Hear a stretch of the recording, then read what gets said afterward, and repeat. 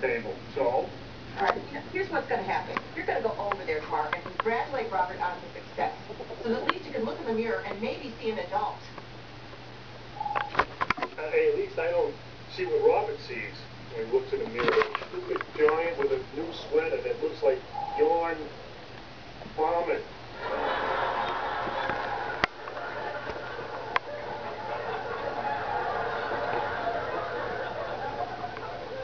Can't even write my own talk.